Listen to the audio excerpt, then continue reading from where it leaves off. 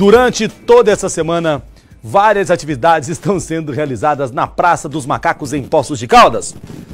A programação é especial para as mães. Vamos ver na reportagem da Juliana Coleta. Balança.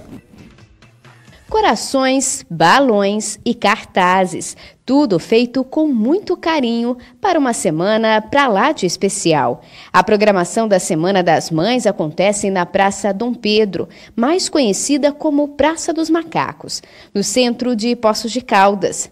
Vários serviços estão disponibilizados para a população.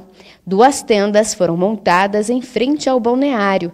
Em uma delas, além da distribuição de preservativos, também estão disponíveis testes rápidos para doenças sexualmente transmissíveis.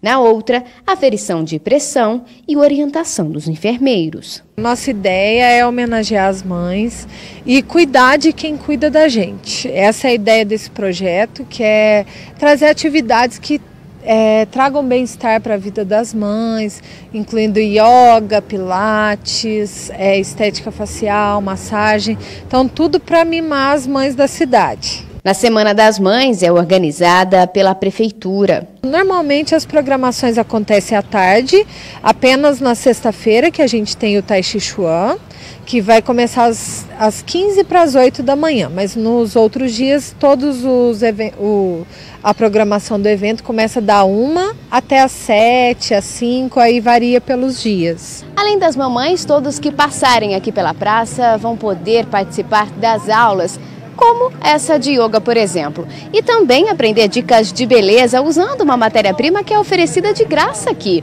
a água sulfurosa.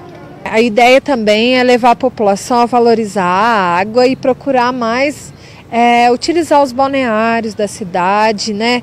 E ter os benefícios que a água sulfurosa traz para a saúde das pessoas. O evento também conta com a participação dos alunos de fisioterapia de uma das universidades de Poços de Caldas.